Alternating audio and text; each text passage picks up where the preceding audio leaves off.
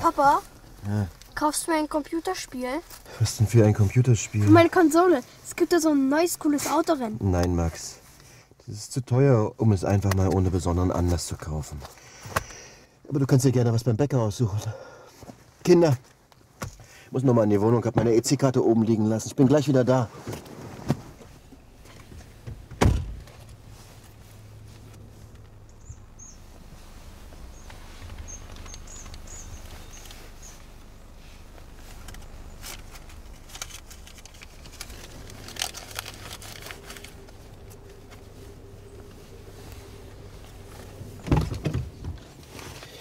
Hör mal, Max. Mir ist gerade eingefallen, dass ich dir dein Taschengeld noch gar nicht gegeben habe. Wenn du ein Computerspiel haben willst, kannst du ja darauf sparen. Wo ist mein Geld? Das hat Lena genommen. Ich hab's genau gesehen.